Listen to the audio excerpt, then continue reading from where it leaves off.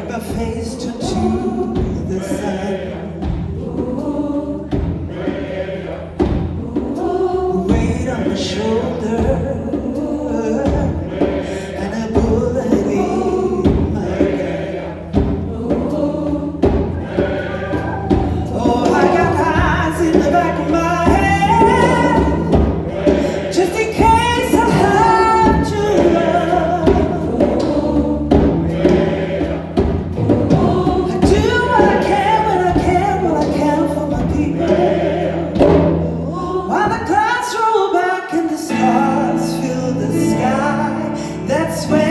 gonna stay.